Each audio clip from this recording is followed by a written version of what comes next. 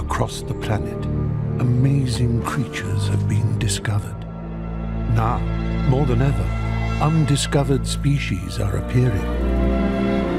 We call these creatures Pokemon.